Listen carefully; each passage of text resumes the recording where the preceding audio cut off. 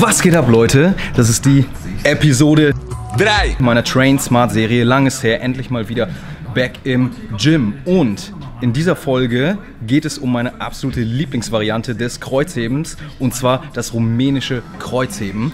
Aber bevor ich euch erzähle, warum es meine Lieblingsvariante ist, erkläre ich euch erstmal den Unterschied zu den anderen Kreuzhebevarianten und welche Muskulatur überhaupt aktiviert ist. Viel Spaß! Yeah, yeah.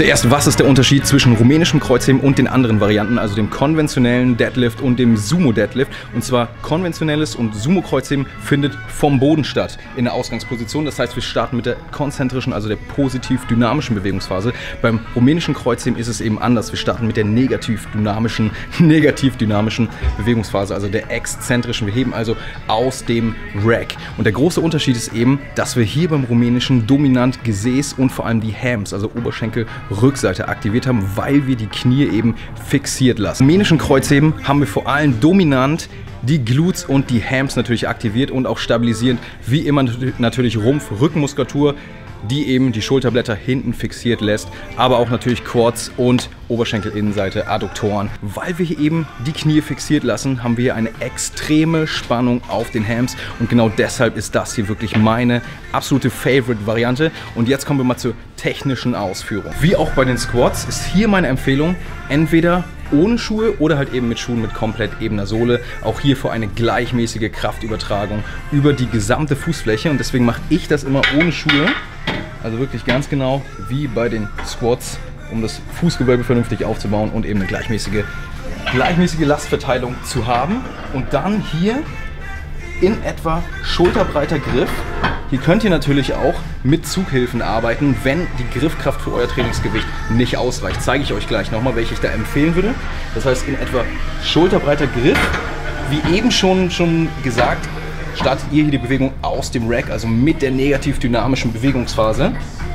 Fester Griff, Schultern zurück, Brust raus, Bauchnabel rein, wie immer. Hebt die Langhantel aus dem Rack.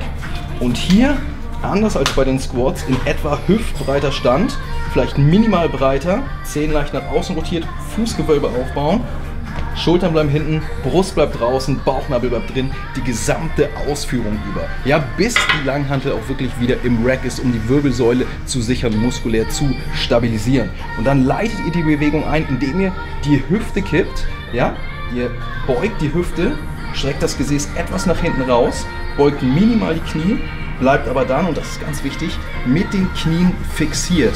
Das ist der Unterschied zu den anderen Kreuzhebevarianten, konventionelles Kreuzheben und Sumo Deadlifts führt die Langhantel an den Oberschenkeln bis an den Schienbein entlang, schleift sie komplett an den Bein entlang, in einer Linie über dem Mittelfuß. Also genau das gleiche, hier natürlich eine vertikale Linie über dem Mittelfuß, wie auch bei den Squats. Effizienteste Bewegungsbahn gegen die Schwerkraft. Knie bleiben fixiert, wieder aufrichten, Hüfte nach vorne strecken, Schulterblätter zusammen, Brust raus, Bauchnabel rein. Das ist die Bewegung. Und ihr senkt wirklich die Langhantel so weit ab, wie ihr auch die Spannung halten könnt im Rücken. Sprich, Schulterblätter bleiben hinten fixiert, Brust bleibt draußen, um eben die Wirbelsäule auch entsprechend zu sichern. Und wenn ihr eben gerade anfangs, wenn eure Hams vielleicht etwas verkürzt sind, vielleicht nur bis Kniehöhe kommt, dann müsst ihr eben an eurer Mobilität langsam Step by Step arbeiten. Aber es macht keinen Sinn, dann im Oberkörper rund zu werden, nur um den Bewegungsumfang zu vergrößern. Das heißt, Schultern bleiben hinten und so weit, wie ihr mit fixierten Schulterblättern und rausgestreckter Brust nach unten kommt, könnt ihr dann hier natürlich euren vollen Bewegungsumfang, also Full Range of Motion, nutzen. Hüfte nach vorne schieben, Glutes maximal anspannen, Gesäß, um eben den Booty maximal zu aktivieren. Auch hier schön langsam natürlich für eine maximale Spannungszeit. Ihr wisst, Time under Tension, das ist unter anderem das mit der Intensität zusammen, was Hypertrophie, also Muskelwachstum auslöst. Ich mache jetzt nochmal ein paar Raps.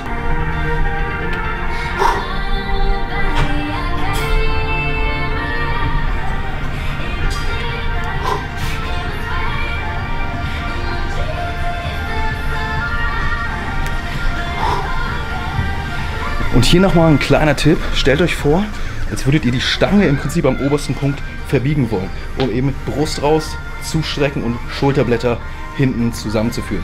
ja, als würdet ihr die Stange verbiegen.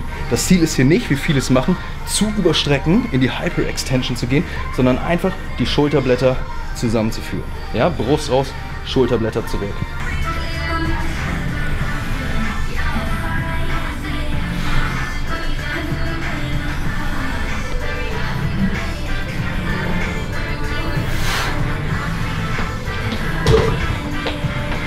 Seht, wenn ich hochkomme, als würde ich die Stange verbiegen. Bam! Schulterblätter sind zurückgezogen.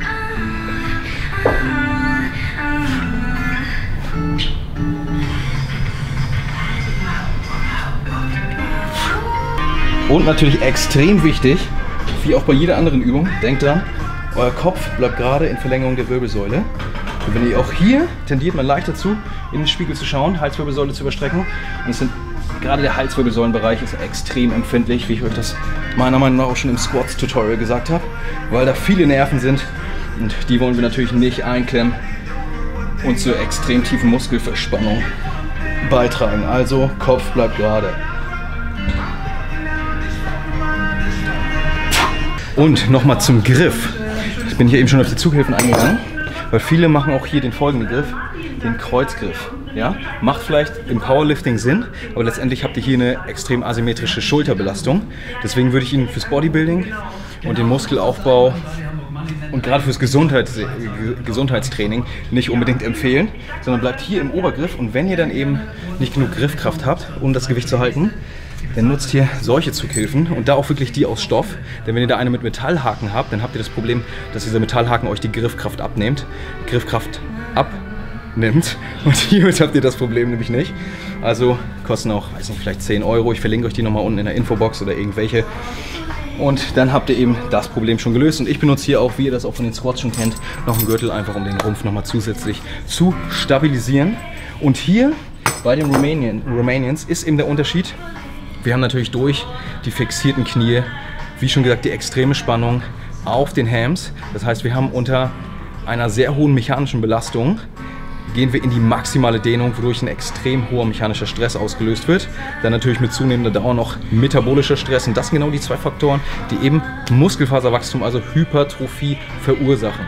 Und deswegen ist das hier meine wirklich fürs Muskelaufbautraining, fürs Natural Bodybuilding, ist das hier deswegen meine absolute Favorite-Variante, weil es die höchste Time Under Tension erzeugt von allen Varianten. Ähnlich wie das rumänische Kreuzheben, also der Romanian Deadlift oder kurz die Romanians, ist natürlich noch der Stiff Leg Deadlift. Da ist der Unterschied, dass er wirklich komplett in den Knien gerade gestreckt und fixiert bleibt. Und hier habt ihr gesehen, seid ihr leicht gebeugt, fixiert, wodurch ihr eben die große Spannung oder die größte Spannung auf den Hams erzeugt.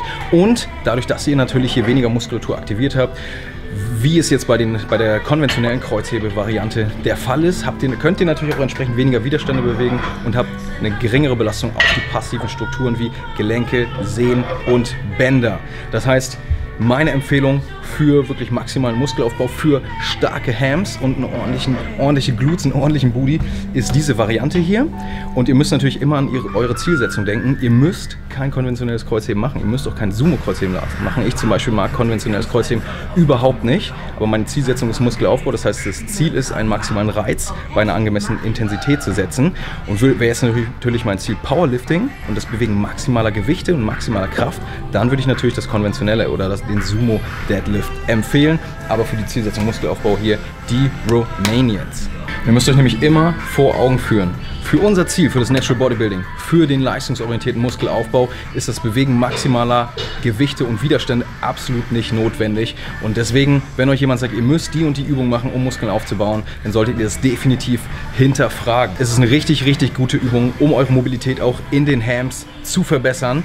Denn gerade verkürzte Hamstrings, wie es durch sitzende Tätigkeit eben vorkommt, wenig Bewegung oder auch High Heels, wenn sich hier Ansatz und Ursprung einander annähern und verkürzen. Das kann, nicht, da, kann nämlich dann im Endeffekt das Becken nach unten ziehen. Damit habt ihr eine übermäßige Be Belastung auf die Lendenwirbelsäule, was zu Rückenschmerzen und im Extremfall sogar zum Bandscheibenvorfall führen kann. Deswegen ist es ganz, ganz wichtig, in den Hams mobil zu sein, also zusätzlich sonst den und hier langsam Step by Step rantasten, Full Range of Motion natürlich, soweit ihr hinten fixiert bleiben könnt. Und das war's auch schon. Ich hoffe, euch hat dieses Video gefallen und wenn ihr starke Hams haben wollt und ordentlichen Booty, dann macht die Romanians meine Lieblingsvariante. Und wenn euch das Video gefallen hat, gebt mir einen Daumen nach oben, lasst den ein oder anderen Kommentar vielleicht noch unten da. Und wenn ihr mich noch nicht abonniert habt, dann könnt ihr es natürlich wie immer hier unten tun und klickt dann unbedingt auf die Glocke, damit ihr benachrichtigt werdet, wenn ein neues Video rauskommt. Und in diesem Sinne, ich wünsche euch noch einen richtig sonnigen Tag und einen richtig schönen Abend. Haut rein, Leute.